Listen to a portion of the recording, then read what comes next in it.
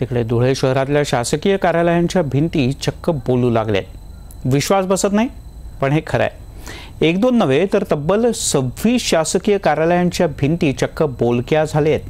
स्वच्छतेसह अनेक सामाजिक संदेश या भिंतीवर लिहिले गेलेत.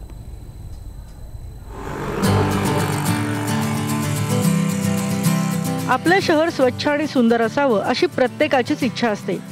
धुळ्यातले सामाजिक कार्यकर्ते रणजित भोसले यांनी मात्र शहर सुंदर बनवण्याच्या दृष्टीनं प्रयत्न सुरूही केले.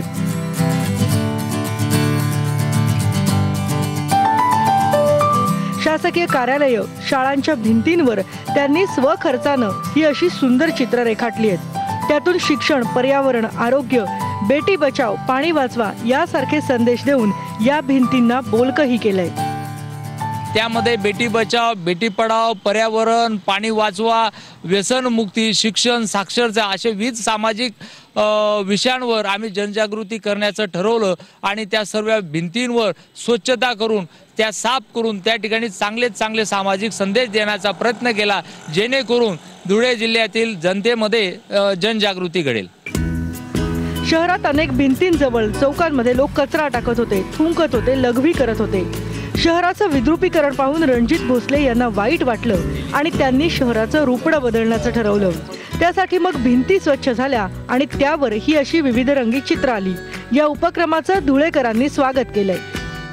जेल रस्त्याला जो इथं खूप घाण राहायची. पहिले कचरा कुंडी लोक यायचे इथं या भिंतीवर थुकायचे लघु वगैरे करायचे. आता रणजित राजे भोसले यांनी असा उपक्रम राबवला आहे. तिथं एकदम म्हणजे चित्र वगैरे काढून एकदम सुंदरता वाटते. भिंती तर सुंदर दिसताच दिसत आहे पण त्याबरोबर असे वेगवेगळे इतके चांगले चांगले संदेश आहेत जसं की बेटी बचाव आज सगळ्यात मोठी गरज असलेली पाणी बचाव पाणी बचावण्याबद्दल लोकांना सांगितलेलं. त्याच्यानंतर एक बरबाटलेला आपला समाज कसा असतो त्याच्याबद्दलचं आहे वेगवेगळ्या पद्धतीने घाण करू नये स्वच्छता राखा.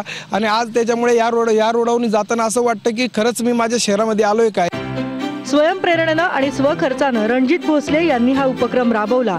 पण तो फक्त त्यांच्या पुरताच मर्यादित न राहता अन्य नागरिक आणि महापालिकाही पुढे आली तर शहरातल्या इतर भिंतीही बोलक्या व्हायला वेळ लागणार नाही.